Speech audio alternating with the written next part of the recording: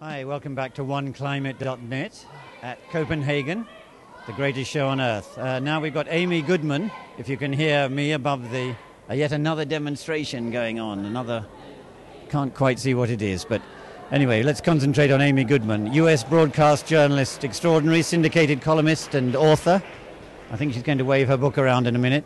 I can't do that because I never get it on screen. Uh, host of Democracy Now!, which I'll ask you about what it is, uh, and Climate Countdown. Well, let me just ask you what you're doing here first. Well, we've got this exclusive broadcast going here every day from, well, you might say the Bella of the Beast.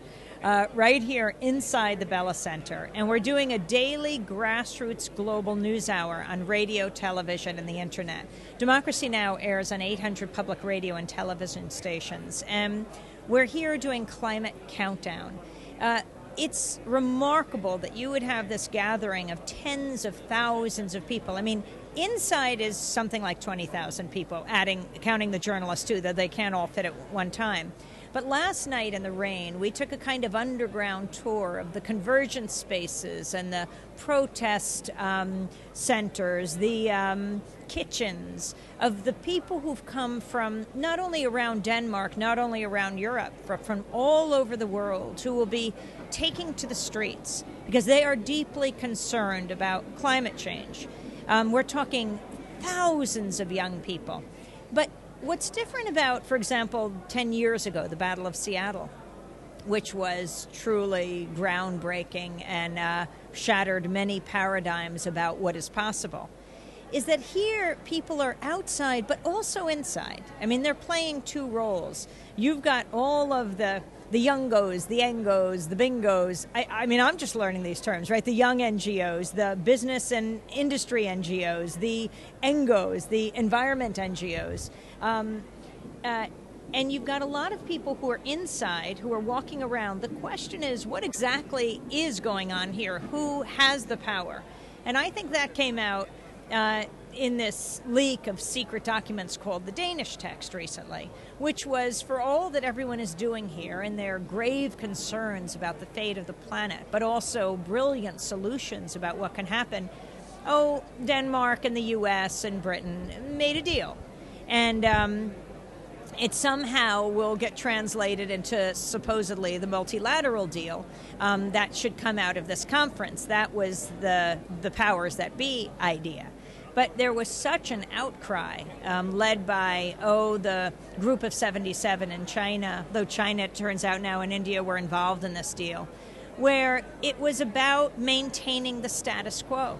The major polluters um, continuing to pollute at an incredibly high level, but the developing world um, uh, continuing to be disempowered. And that's one of the big discussions that's been going on here. Okay, now the trouble with talking to an experienced broadcaster, far more experienced than I am, that she's already answered all my questions, but I'll try and think of some more now. Um, so, what have been your impressions of the coverage? You're presumably monitoring or having a, finding a few moments to look at the coverage, what, either from the US or from if you're just looking generally at uh, coverage. Well, being here in Copenhagen, I can't see all the US coverage, though uh, I could only guess how little there is. You know, the occasional. Uh, occasional feature story, perhaps, in the mainstream media in the United States. But I don't think that represents most people's concerns. I mean, think about the corporate media in the United States. Who brings it to us? ExxonMobil and Chevron, the coal companies, the oil industry, the gas companies. I mean, in the same way that the weapons manufacturers do their advertising and they're covering the war, that's the very sad limited bias coverage of war. In the same way, when it comes to climate change, these very companies that are pouring millions into the networks to advertise are pouring millions into Congress every single week to prevent anything from changing. And in the mainstream media, you rarely have a serious discussion about what is happening, the seriousness of global warming, and then what has to be done. And I think the biggest issue to come out of here, to, to come out of COP15, is this whole idea that is coalescing and it's coming from the South eh, of reparations, of climate debt. the idea that here these countries have been suffering terribly. We were just interviewing an Ecuadorian activist uh, whose idea, you know, keep the oil in the soil, uh, keep the tar sands in the land, uh, keep the coal in the hole, um, has really caught on. Now, the president of Ecuador, Correa, has taken this issue on and saying, then you have to pay us to keep the oil in the soil. Um, they, these countries, the small island countries, African nations, are suffering terribly from what we have done in the Western world. So this isn't about, as the U.S. climate uh, negotiators uh, like Jonathan Pershing have said, you know, there's only so much largesse that we have. This isn't about charity. This is about a serious debt. And what are we going to do about it? But uh, I know uh, two or three years ago, definitely the, the debt idea was very strong. Now I think industrialized countries seem to be shifting away from that as rapidly as they can to say, point to the future, well, it's China, India, it's not us in the past. And that's why it seems at this conference they're trying to uh, possibly make a new agreement or a newish agreement. Right. Well, there's two things. First of all, Kyoto doesn't sunset in 2012. That's what the industrialized countries, particularly the United States, would like us to believe that something new has to happen because if it doesn't happen, then we will have no agreement. No, that agreement continues. The U.S., sadly, under even President Obama, has not signed on to it. And um, there are goals there. And the question is will there be a multilateral agreement that comes out of this? Uh, not the way the World Trade Organization works and other international financial institutions that gives you know much more weight to the industrialized countries, but all together, figuring out how are we going to solve the problem that will take us down together.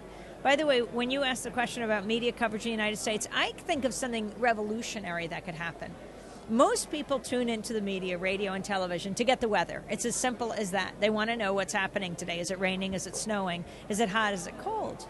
Imagine if these weather people, these forecasters, uh, when they're talking about droughts or fires or hurricanes, instead of flashing extreme weather, flashed global warming as a cause because otherwise it all seems disparate. How could you say global warming? There's a fire here, but it's freezing in Portland, Oregon.